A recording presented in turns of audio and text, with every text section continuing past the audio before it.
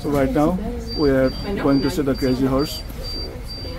Crazy Horse is a monument and uh, the name of Crazy Horse.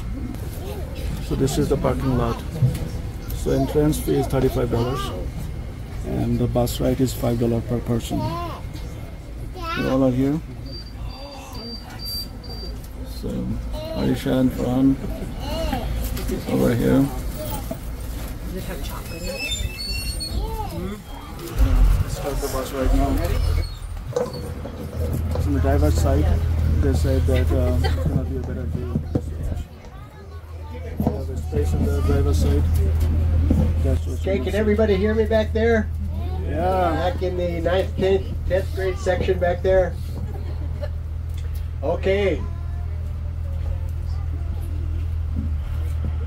Well, the guy we've been uh, talking about lately is uh, Korczak Ziolkowski. He's the the sculptor that started this massive uh, undertaking of carving the what he called Thunder Mountain.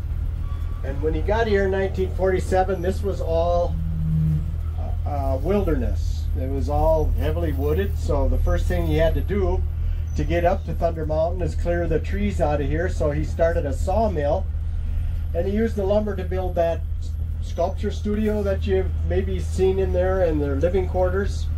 And he also built uh, to the right there through these trees. You can see some white buildings. He also built those, and they he, he started South Dakota's first like dairy operation. They milked Holstein cows.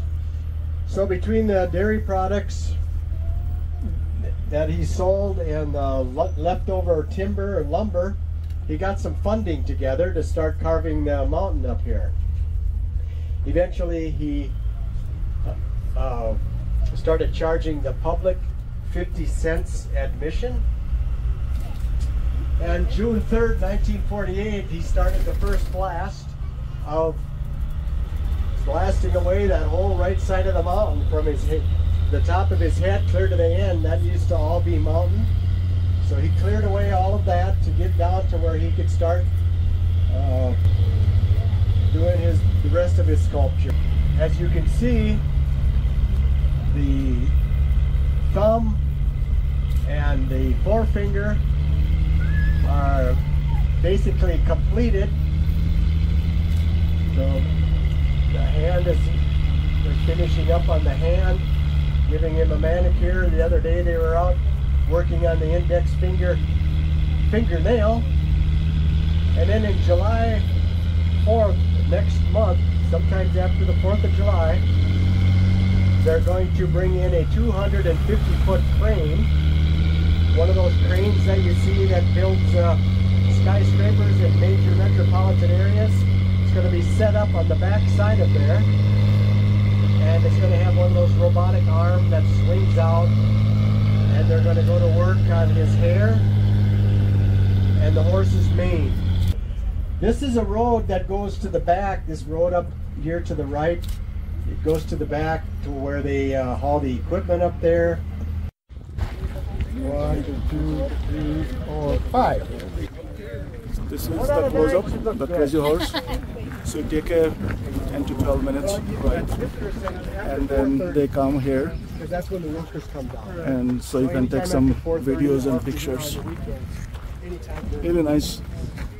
The work is still ongoing, so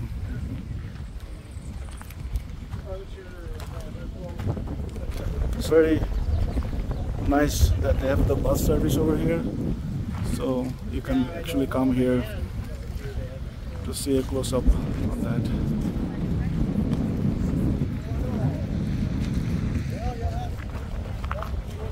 My family right there.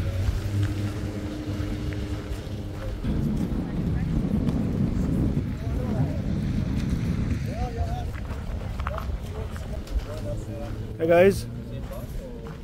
Ranu, Arisha Farhan, do you like it? Crazy Horse. As a group, Ranu, the band maybe holds.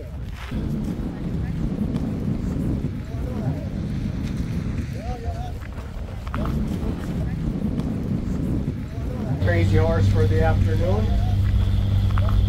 Last Saturday there were 5,729 people that hiked up there. Last September there were actually 15,000 people that went on the hike.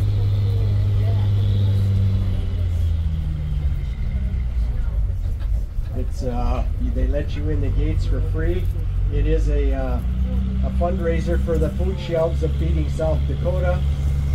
So if you just bring a couple of canned goods or dry goods, pay the hiking club four dollars. It's uh, you hike that trailhead is over to the right there behind that pickup truck.